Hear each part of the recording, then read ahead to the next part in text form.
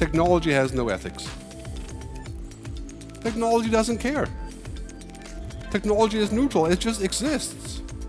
It's not good or bad, it's how we use it. And we have to think more about this because technology is now becoming so powerful. In 10 years, we can pretty much do anything with technology. 20 years, as some people say, 2050, the singularity, where technology becomes infinitely powerful. So let's define ethics as the difference between what you have a right the power to do and what is the right thing to do. And who decides what is the right thing to do?